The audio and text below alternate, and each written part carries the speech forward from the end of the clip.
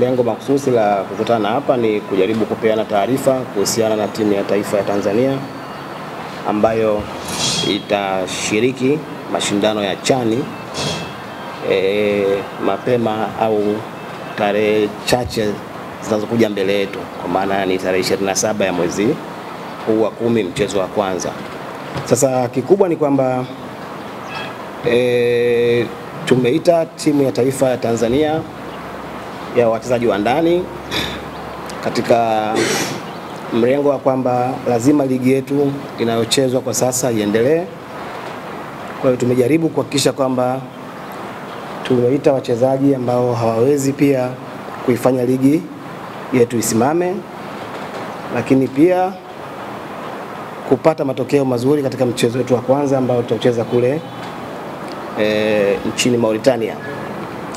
Timu imekuwa haina muda wa kujiandaa kwa sababu leo tunaitangaza timu na timu inatakiwa kesho kuondoka. Kwa hiyo mazoezi yatafanyika kule ambako tunaweza sisi kwenda.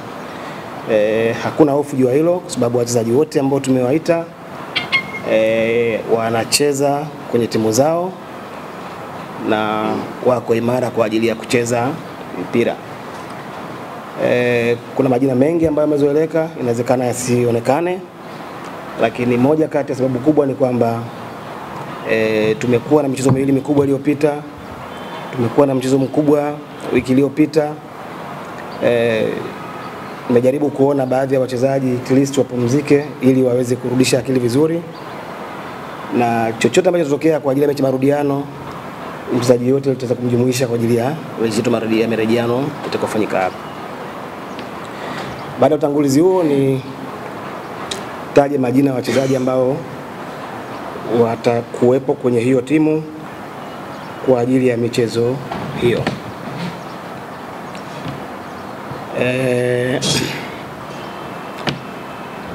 Ndani ya hii timu kuna wachezaji wengi ambao wamecheza mashindano ya under 20 wakiwa na timu ya Ngorongoro na wamefanya vizuri, na ni imani yangu kwamba wako tayari E, kuweza kufanya vizuri pia katika mchezo huu ambao tunakwenda kuucheza. Kwenye orodha yetu tuna wachezaji wafuatao: Isaya Kasanga, huyu anatoka kwenye TFF Academy ama TDS. Kuna Anthony Mpemba ambaye naye anacheza Ngorongoro Heroes lakini anatokea Azam Under 20. Kuna Pasco Msindo ambaye yuko Azam FC kuna David Bryson kutoka JKT, kuna Nixon Mosha naye pia kutoka Ngorongoro lakini na KMC, Lame Kilawi naye pia anacheza Ngorongoro kutoka Coastal Union, Abdurahim Bausi kutoka JKT, Vedastus Masinde kutoka Ngorongoro lakini pia e, TMA ya Arusha, Ibrahim Ame kutoka Mashujaa Hija Shamte naye alikuwa Ngorongoro lakini kutoka Kagera Sugar. Adolf Mtasingwa kutoka Azam FC.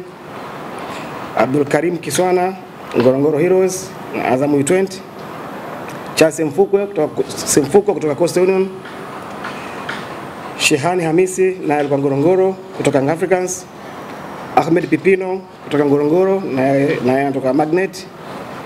Sabri Kondo mchezaji bora wa mashindano eh, Ngorongoro kutoka KVZ, Salum Ramadhani kutoka Ken Gold, Ismail Kada kutoka JKT, Bakari Msimu naye alikuwa Ngorongoro kutoka Coastal Union, William Edgar kutoka Fountain Gate, Suleiman Mwalimu kutoka Fountain Gate, Valentino Mashaka naye alikuwa Ngorongoro kutoka Simba. Na Cyprian Ngushi kutoka Mashujaa. Hao ndo wachezaji ambao e, tutawatumia. Oh, sorry, kuna jina moja sijalitaja. Okay. sikusahau, sikusahau, lakini jina la mwisho ni la Aishi Salum Manula ambaye pia atakuwa ndio captain wa timu hii. Asante. Kocha amemaliza kutaja kikosi ambacho kitakwenda kucheza michezo miwili dhidi uh, ya Sudan.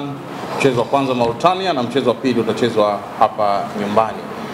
Maswali kwa coach kuhusiana na hayo ambayo tunayaendea kwa maana mchezo dhidi ya Sudan na kikosi ambacho tumetaja.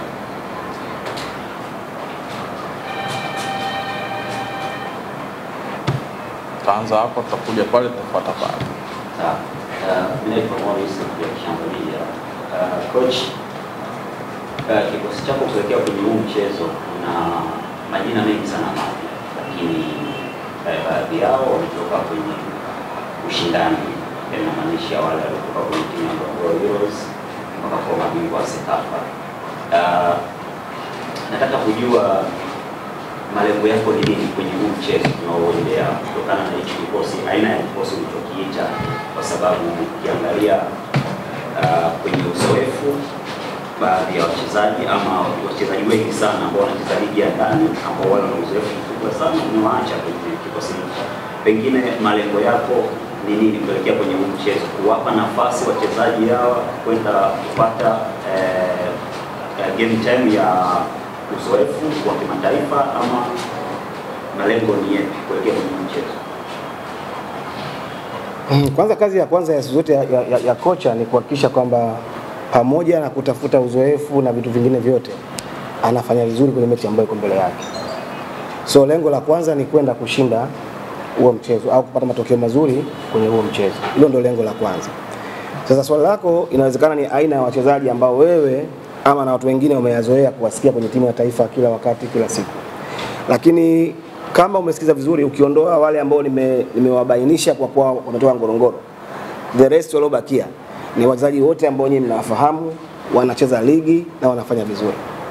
Kwa hiyo naamini vile ambavyo wanafanya vizuri kwenye ligi, basi wanao nafasi ya kwenda kufanya vizuri tukiwapa nafasi ya kwenda kucheza hayo mashindano. Uzoefu hakuna sehemu ambapo unauzwa. Uzoefu unapatikana kwa kucheza kwenye mashindano. Wachezaji wote hao ambao mna, mna, mna, mna picha nao kwenye vichwa vyenu na wenyewe walianza kama hivi, na mpaka leo wamekuwa ni wachezaji ambao wanatamkwa sana kwenye hizo vilabu vilabu vya kwetu. Kwa hiyo malengo tunakwenda kushindana kupata matokeo, lakini pia kama ambavyo umezungumza wewe, tumewafanya wengine pia wapate nafasi kucheza kwenye mchezo mkubwa wa mashindano. Asante, naitwa Juma Mohamed kutoka Channel 10. Kocha, kwenye kikosi chako pia kuna jumuiko la nyota kutoka championship ambao ni timu. Yeah. Eh, Kiuhalisia ligi kama hizi zinatengeneza nafasi gani kwako kama mwalimu kuona wingi wa kutazama wachezaji wengi, kwa sababu tumeona hapo wachezaji wengi wadogo wamegusia hapo wanaenda kupata experience. Pengine ili kwako kama mwalimu kuona ligi mpaka za chini zinatoa wachezaji wa kwenda kwenye national team, ili kwako kwanza unalizungumziaje kuhusiana na hilo, lakini pia eh, tutaraji kuona machaguzi ya namna hii chini yako, kwa maana ya hata wale ambao watakofanya vizuri mpaka kwenye madaraja mengine wakiingia kwenye. Kwanza sisi kama nchi tumekuwa tuna shida moja kubwa sana. E, tumekuwa na shida ya scouting, lakini pia na nyinyi kama wanahabari e, za michezo na nafasi kubwa sana ya kulifanya hilo, kwa sababu taarifa nyingi za vilabu ama ligi za chini hazipewi nafasi kama ambavyo tunatoa nafasi kwenye, kwenye ligi kuu. Tungefanya hivyo tungeweza kuona wachezaji penginepo wengi zaidi ya hawa ambao ambao sisi tumewaona. E, umemtaja mchezaji kutoka timu A, lakini mchezaji ambaye amecheza kwenye Ngorongoro Heroes na kwa mafanikio makubwa. Kwa hiyo kimsingi ni kwamba wachezaji wote unaoona leo walianza kwenye madaraja ya chini. Kilichowaleta pale walipo ni kwamba walionekana. Kwa kazi yetu sisi sote, sio mimi peke yangu, kazi yetu sisi sote ni kuhakikisha kwamba tunang'amua e, wachezaji ambao wana ubora kutoka kwenye timu tofauti tofauti ili tuweze kuwaleta kwa ajili ya timu ya taifa. Lakini kupe ushahidi kwamba wachezaji wengi ambao ni mastaa leo wa timu nyingi hizi kubwa walishaini kutoka kwenye timu ya taifa e, kwamba timu ya taifa iliwaona kuliko kuwa akaja akavaa jezi ya, ya timu ya taifa, timu zikamchukua kutoka kwenye timu ya taifa, kutoka kwenye timu ya taifa na kwenye, kwenye klabu. Kwa hiyo hili mna ushahidi nalo kwamba wachezaji wanaokuja kwenye timu ya taifa baada ya kuonekana huko, alafu wanaonekana hapa tena na, na vilabu vingine kwa ajili ya kucheza kwenye hivyo vilabu. Sasa tuna nafasi kubwa pamoja, sio mimi kama kocha tu, lakini na nyinyi ambao mpo kwenye sehemu zote za nchi yetu kuifuatilia ligi daraja la kwanza, ligi daraja la pili, ili tuweze kuona vipaji tuving'amue na tuviendeleze. Naam, uh, swali langu pengine na kufahamu Yeah. unaweza kucheza na timu ambayo uh, kitu ambayo ni michuano ya CHAN hata Yeah. timu yao ya kawaida Mm. imekuwa ikienda pesa kubwa na wachezaji wa ndani na wana timu ambazo wachezaji ambao tunasema ni Champions League ya Mm. Afrika kina Mm. Kapteni Yeah. na wengine wengi. Yeah. Uh, kwako mwalimu, unaona nafasi ya vijana hawa kwenda kuleta ushindani dhidi ya timu yenye matiri ya wachezaji kama hao ambao tumezoea kuona katika ngazi za juu? Lakini ishu ya pili ni kwa Aisha Manula, amekuwa hajapata time nyingi tofauti na hao wengine ambao eh, wametajwa katika orodha, labda